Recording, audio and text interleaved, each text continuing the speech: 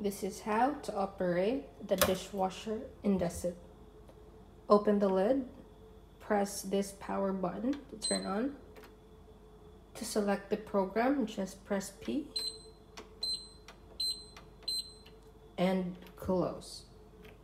Once it stopped working, then you can open back the lid and remove the plates and everything that's inside.